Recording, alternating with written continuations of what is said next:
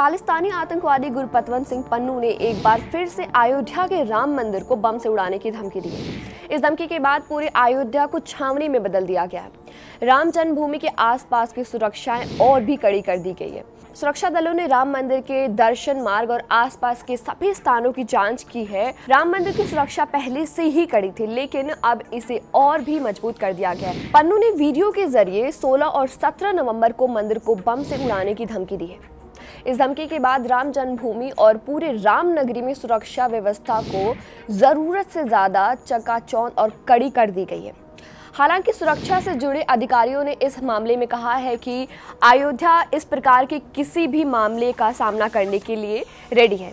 अयोध्या के पुलिस ने ये भी कहा है कि अयोध्या पहले से ही हाई सिक्योरिटी जोन में है और यहाँ तैनात सुरक्षाकर्मी किसी भी आतंकवादी हमले का सामना करने के लिए काबिल है।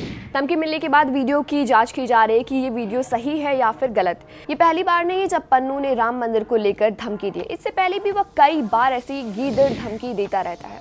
दरअसल, पन्नू भारत के पंजाब को अलग करके खालिस्तान बनाने की मांग कर रहा है और कनाडा में सिख फॉर जस्टिस नामक एक संगठन चला रहा है। इस धमकी के बाद उनकी नापाक मंशाओं और नापाक इरादों के बारे में पता चलता है। और देखना ये होगा कि आखिर पन्नू ऐसी गीदड़ भक्ति चाल कब तक चलता रहता है? बने रही हमारे साथ आगे की खबरों के लिए।